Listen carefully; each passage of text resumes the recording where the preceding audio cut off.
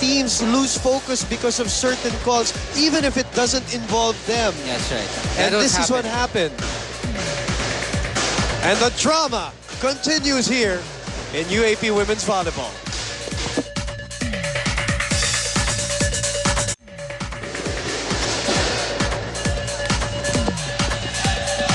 Well, you know, this is again according to script. Yeah, Ian. First true. set to UST, two sets to FEU. Yes. And I'm saying that for those who don't know, in the first meeting, in the first round back in December 7, that's exactly what happened. UST behind, two sets to one.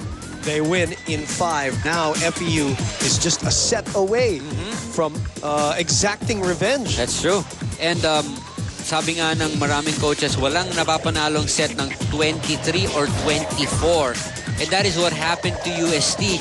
Well, they were really leading uh, by four or five points going to that final Correct. stretch. And they just, you know, after that controversial, it wasn't really such a controversy because uh, clearly in the replay, the call was was the right call to make by the linesman. And the point was given to them. But the complaining of Coach Ness, And the, you know, the, and energy. The histrionics and the, Oh. the ano, ano, ta- talagang it sucked the life out of UST. That's right, and it fired up the Yes. FEU ladies. So uh, that that that that is you know sometimes part of coaching. You know, get get something going your way para mapagana mo yung mga players mo, and that is what Coach Ness did in that instance. And He got a warning for it. yeah, he did. But it, it's it's it's it's in basketball. It's like a technical foul. That's right. That fired up his own team. That's right. Parang ganun. Oh, pag ganun ang nangyayari. And when when uh, coach after that call uh, for Coach Ness, kita mo in a matter of 30 seconds they ended the set. Yeah. You know, sometimes if you're a player, you see your coach fighting for you like that, Yeah. Di ba? Parang ayaw mo rin mapahiya. That's right. That's he right. put so much effort. He has been, he might as well have been playing since the start of this game, Ian, because. He's been up. been up and bouncing and shouting all throughout. That's right. And he's still talking to the tech technical table right now. He's not gonna stop.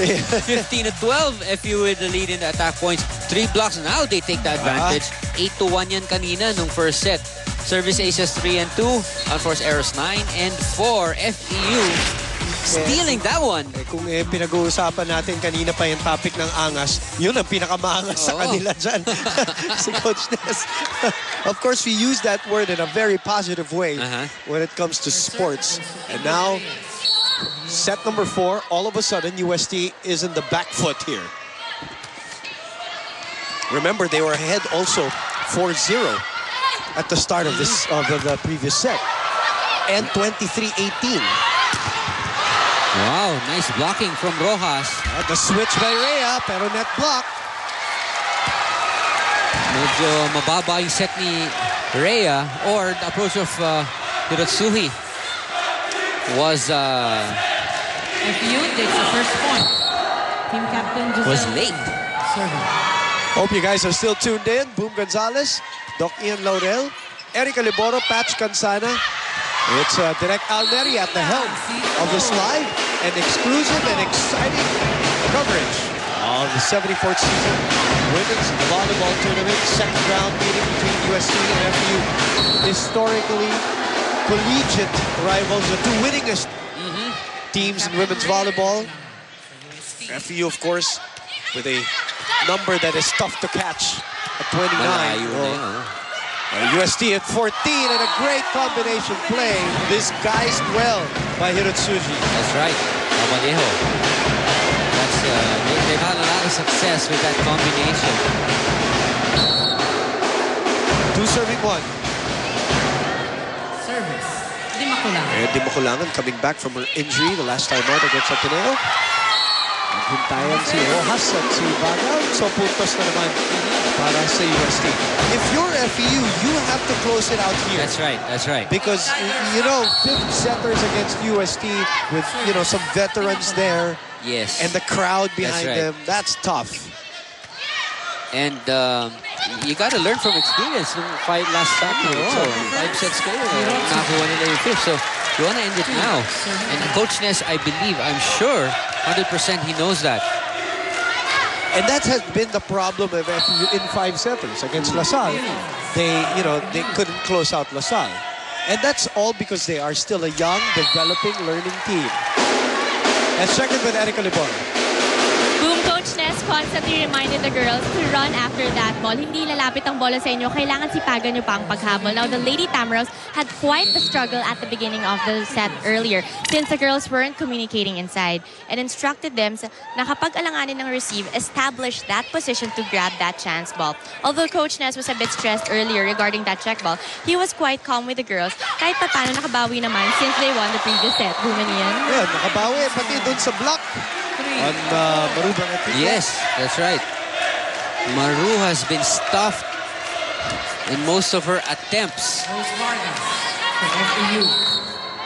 She's been uh, really, you know, Basa, scouted. pinabasa, oh, oh. nabasa. Basang-basa siya nitong uh, depensa, lalo ng blockers, the middle blockers, Rojas. Especially if, he, if she always angles her body towards the cross court. No? Dito, iba na naman. Yeah. Iba naman. Kaya medyo mahirap pantayan. That's right, that's right. Pero dito sa side na to, nakikita mo sa katawan minsan. Eh.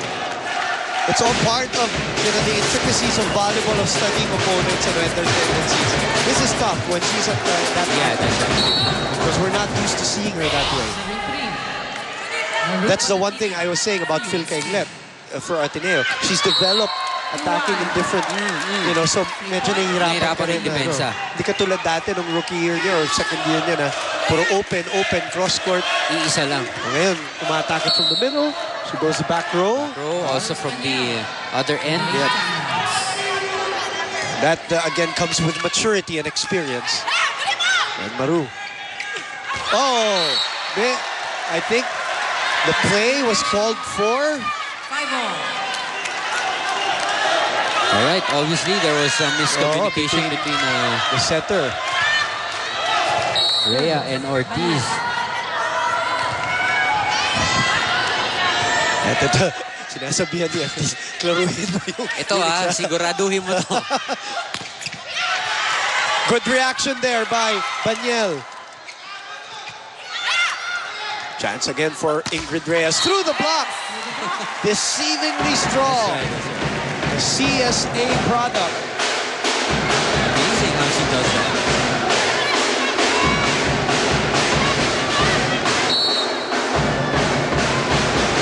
Walang tumatayo dito sa arena in San Juan. Yung mga coach lang sa galit. Service error there.